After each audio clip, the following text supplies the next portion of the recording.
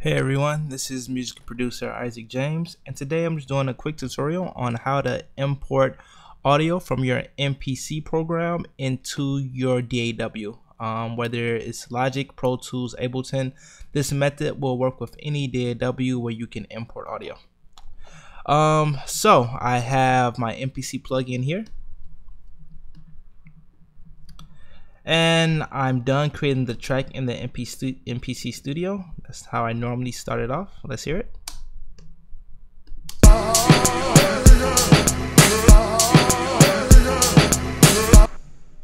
Alright, so once you're done creating everything, um, I also want to recommend that you adjust your mixing in the MPC Studio because you don't want it to be to the max. I normally just put everything at 100 here. So to import your audio files into your DAW, you want to go up here and then you want to go to file and then you want to go to export. From export, you want to go down to as a audio mixdown.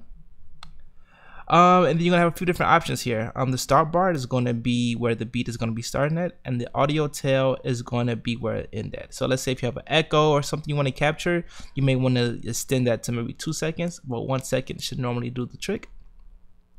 Um, stereo output is if you just want to export your two track of the beat you made. Um, but in this case, we want to do explode tracks, which is going to be each individual track, like the snare, the hi-hat, the kick. And we want to do this in the WAV format and 16 if it's pretty good. All right, and then we want to hit export. So this is going to bring up a window to see where you want to save it at. Um, so the the best thing for me to do it um, is just put it on the desktop. It's the quickest way. You don't have to search through too much of anything. It's right there. And you want to create a new folder. And I'm just going to call this test.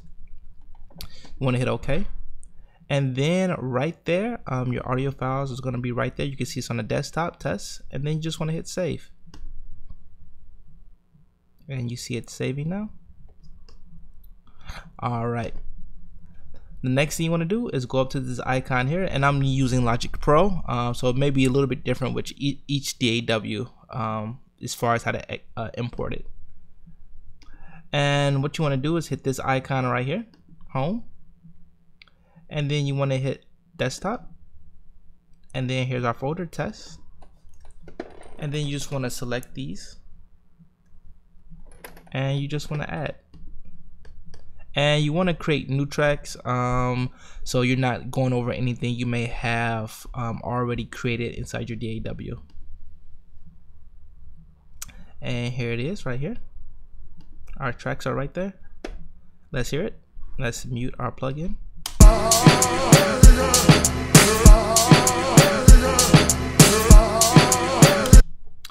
right, one thing I want to bring up here, um, if you made this in the standalone program in the MPC Studio, make sure your tempos match or it's going to be off. So wherever you made your tempo in the MPC, make sure it matches in your DAW.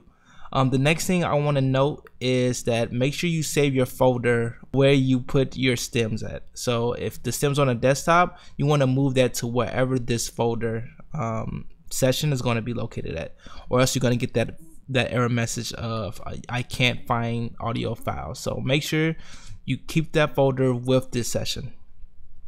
And that's pretty much it. Um, if you have any more questions, definitely let me know um, in the comment section. Feel free to share, subscribe, and I'll talk to you guys soon. All right, thank you.